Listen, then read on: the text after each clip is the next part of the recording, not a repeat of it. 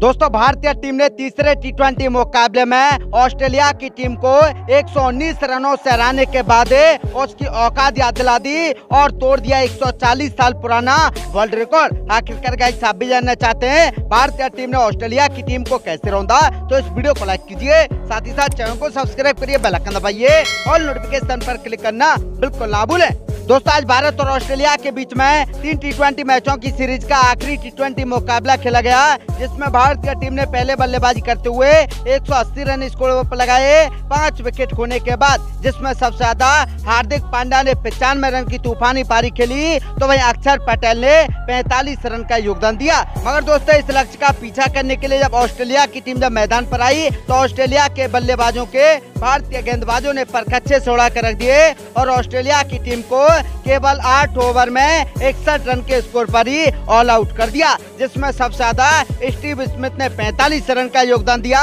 और कोई भी बल्लेबाज ज़्यादा कमाल नहीं कर पाया। और इस तरीके से भारतीय टीम ने 119 रनों से तीसरा टी मुकाबला जीतने के बाद इतिहास रच दिया।